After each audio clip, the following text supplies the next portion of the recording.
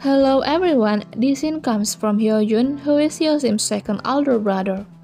If in the previous episode, Jung Mirim looked down on Hyojun's dream of being a lawyer, this time it was Hyojun's turn to look down on Jung Mirim's dream of being an actor. Coincidentally, that day, Jung Mirim failed her audition again. She was drunk and Hyojun, who was also stressed about his exam, sat next to Mirim who was drunk. Hyojun didn't understand why Mirim wanted to be an actor. He said the exact same thing that Mirim had said to him the night before.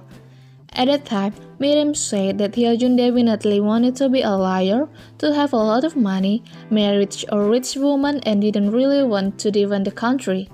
Because as far as Mirim knew, a liar took sides or defended the person who paid the liar.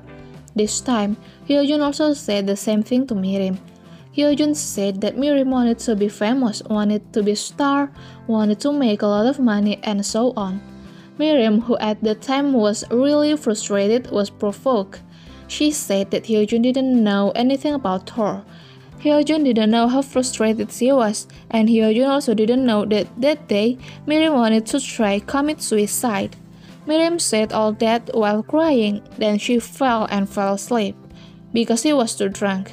I think the relationship will start from friendship because they have the same faith. They both fighting for their dreams. Okay everyone, that's the scene this time. Thank you for watching my video.